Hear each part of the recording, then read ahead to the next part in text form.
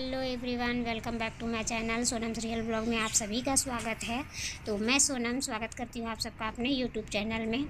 आज की वीडियो होने वाली बहुत ज़्यादा इंटरेस्टिंग तो पूरी हेलो कैसे हैं आप सब? होप आप सभी अच्छे होंगे और मैं भी बहुत अच्छी हूँ। आफ्टर वेरी लॉन्ग टाइम आप सभी के सामने मैं आ रही हूँ फिर से एक नई वीडियो लेके, कुछ अलग नई रेसिपी होप आप सभी को वीडियो अच्छी लगी होगी वीडियो अच्छी लगेगी सॉरी वीडियो अच्छी लगी तो लाइक, कमेंट, शेयर ज़रूर करें। चैनल पे नए हैं तो चैनल को सब्सक्राइब ज़रूर करें। तो चलिए शुरू करते हैं आज की रेसिपी आज की रेसिपी है वड़ा पाव महाराष्ट्र का फ़ेमस डिश इसे बनाने के लिए हमें चाहिए क्या क्या चीज़ें? आइए जानते हैं तो हमें चाहिए एक बड़े कटे हुए प्याज, अदरक, लहसुन की पेस्ट और काली सरसों, करी पत्ता और जीरा, हरी मिर्च, हींग और हरी धनिया। इसके बाद मैं बताने जा रही हूँ आप सभी को इसे कैसे बनाते हैं, किस तरीके से इसे बनाया जाता है। कभी कभी हमें ऐसा होता है कि हमें क्या बनाना है और क्या चीज़ें उनमें चाहिए होता है, बट किन चीज़ों को कब यूज़ करना है और कैसे, ये नहीं पता होता, जिसके कारण हमारे बनाए हुए चीज़ों का टेस्ट उस तरह नहीं आता जिस तरह हम चाहते हैं। तो कब किन चीज़ों को कैसे यूज़ करना है, ये हम जानते हैं इस वीडियो के माध्यम से। वो वीडियो आपको अच्छी लगेगी। वीडियो अच्छी लगेगी तो प्लीज़ नए होंगे तो चैनल को सब्सक्राइब ज़रूर कीजिएगा। तो बेसन की घोल बनाने के लिए हमें चाहिए बेसन जितना कि हमें, हमारा आलू का बड़ा उसमें डीप हो जाए उतनी क्वांटिटी में और फिर उसमें हम ऐड कर रहे हैं स्वाद अनुसार नमक, हल्दी पाउडर, मिर्ची पाउडर और थोड़ा सा खाने वाला सोडा। और बेसन को हमें इस प्रकार उसका घोल तैयार करना है कि वो बेसन ना ज़्यादा गाढ़ी हो और ना ज़्यादा पतली हो। चलिए हम इसे इसमें थोड़ा थोड़ा पानी ऐड करके इसे, इसका अच्छा सा घोल बना लेते हैं। इसमें जो ना ज़्यादा गाढ़ी होनी चाहिए, ना पतली। और जब तक हमारे आलू उबलते हैं, तब तक हम सारी चीज़ें को, चीज़ों को रेडी कर लेते हैं और बनाते हैं। आइए हम और आप मिलके वड़ा पाव, महाराष्ट्र की फ़ेमस डिश बहुत, में इस वीडियो में बहुत लोग ऐसे सब्सक्राइबर हैं मेरे चैनल पे जो मुंबई से हैं मुझे उन्हें भी देख के अच्छा लगेगा। तो वो उम्मीद करती हूँ कि मैं मुंबई जैसा वड़ा पाव आप सभी के साथ बना के शेयर कर पाऊँ। तो चलिए कोशिश करती हैं, करते हैं। जैसा कि आप देख सकते हैं, हमारे बेसन का घोल अच्छी तरह तैयार हो चुका है। ना ज़्यादा पतली है, ना ज़्यादा गाढ़ी। और यहाँ पे हमारे आलू भी उबल चुके हैं तो हम उसे मैश कर लेंगे। और हम दूसरी तरफ़ हमने चढ़ाया है गैस पे कढ़ाई। उसमें डाला है मैंने ऑयल। उसके बाद, ऑयल के गर्म होने तक वेट करेंगे। उसके बाद हम डालेंगे उसमें ब्लैक सरसों। और थोड़ी सी हींग करी पत्ता और उसके बाद आपके कटे हुए प्याज। कटे हुए प्याज को हल्का ब्राउन होने तक उसे भूनेंगे उसके बाद हम डालेंगे उसमें अदरक लहसुन का पेस्ट और उसे भी थोड़ी देर भूनने के बाद हम डालेंगे उसमें आप, आपके सारे मसाले जीरा पाउडर धनिया पाउडर मिर्ची पाउडर और नमक स्वाद अनुसार।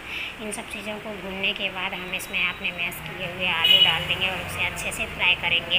अच्छे से फ्राई करने के बाद जब आलू आपके अच्छे से फ्राई हो जाए तो उसमें आप ऐड करें।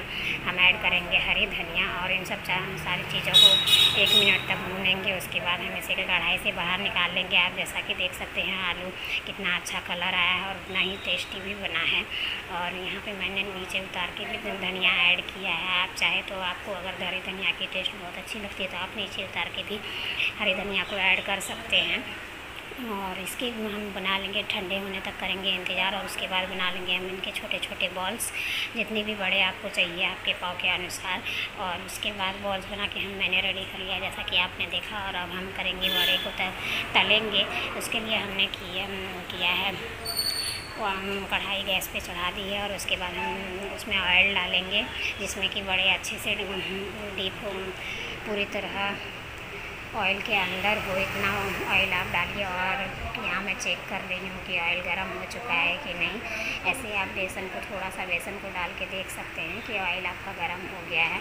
अगर आप पहले गर्म होने ऑयल के अच्छे से गर्म होने से पहले वड़े को डाल देंगे तो आपका बेसन फैल जाएगा कढ़ाई में, जिससे वड़े अच्छे सेप में नहीं बनेंगे, इसलिए ऑयल के गर्म होने तक अच्छे वेट करें आप। उसके बाद जो बेसन का घोल हमने बनाया है उसमें आपने आलू के बनाए हुए बॉल से डीप करेंगे और बड़े एक एक करके ऐसे ही बड़े को तल लेंगे। जैसा कि मैं तल रही हूँ, आप देख सकते हैं यहाँ मैं एक एक करके बड़े को तल रही हूँ और इसे ब्राउन होने तक तलेंगे और हो गया है आपका वड़ा तैयार। यहाँ मैं इसके बाद की क्लिप लेना भूल गई हूँ तो सॉरी माफ़ कीजिएगा। और इस तरह मैंने एक एक करके सारे बड़े तल लिए और उसके बाद हम बन गए रेडी हो गए हैं हमारे हमारा वड़ा इसके बाद वाला क्लिप मैं भूल गई हूँ। तो इस तरह से बन गए हैं हमारे वड़ा पाव। और आइए हम कर अब आप करते हैं वीडियो के माध्यम से। मैं वड़ा पाव टेस्ट करके एंजॉय कर रही हूँ और आप कर देख के आप अपने घरों में बना के इस वीडियो को देख के आप भी इंजॉय कर सकते हैं। वड़ा पाव, महाराष्ट्र की फ़ेमस डिश और मुझे बताइए कि कैसे टेस्ट कैसा बना वड़ा पाव। तो कमेंट बॉक्स में ज़रूर बताइएगा। वीडियो अच्छी लगी तो लाइक, कमेंट, शेयर ज़रूर कीजिएगा। चैनल पे नए हैं तो चैनल को सब्सक्राइब ज़रूर कीजिएगा। यहाँ हम कर रहे हैं वड़ा पाव इंजॉय पूरी फैमिली के साथ। आप देख सकते हैं। इसमें हम चटनी लगा के और उसके ऊपर बड़ा रख के इस तरह पाव में आप इंजॉय कर सकते हैं। तो होप वीडियो आप सभी को अच्छी लगी होगी। मिलते हैं अगले वीडियो में नए ब्लॉग के साथ। तब तक के लिए आप सभी अपना बेहद बेहद बेहद ख्याल रखिए और जो भी गलती अगर कुछ वीडियो में हुई होगी तो उसके लिए सॉरी और वीडियो कैसा लगा कमेंट बॉक्स में ज़रूर बताइएगा और प्लीज़ प्लीज़ प्लीज़ जो लोग नए चैनल पर नए हैं तो सब्सक्राइब करना ना भूलिए। Bye bye take care